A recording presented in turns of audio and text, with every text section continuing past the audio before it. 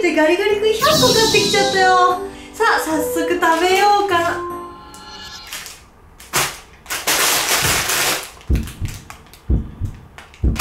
外の暑さで全部溶けてる。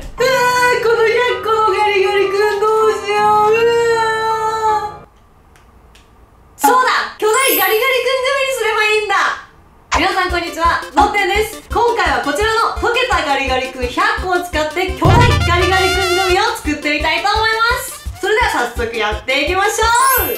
はいまずはガリガリ君をタッパーの半分ぐらいの量まで入れていきます。さあ長い戦いが。今始まる。ガリガリ君ガリガリ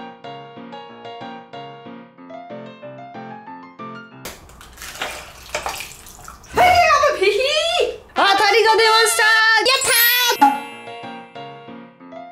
そしたらこちらのガリガリ君を電子レンジで温めます。ここにゼラチンを入れていきます。おおすごいすごいすごい。おお溶ける溶ける。めっちゃあーサラサラあーサラサラサラサラ。サラなんか色がすごいことになったけど大丈夫かな？はい混ざりましたら残りのガリガリ君をタッパーの上まで入れていきます。さあ青になってくれ。おおはいこんな感じになりました。残りの3つも同様にして冷蔵庫で冷やしていきます。じゃじゃーん！グミが固まりましたのでこれから巨大ガリガリ君の形に整えていこうと思います。あー怖い怖い怖い怖い怖い怖い怖い。よ。うわっはあーいいよ殺せおてってれーアイスの棒はいはいはいはいはいは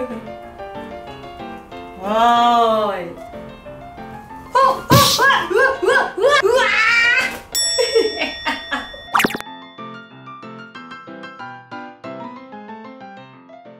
はいということで巨大ガリガリ君グミの完成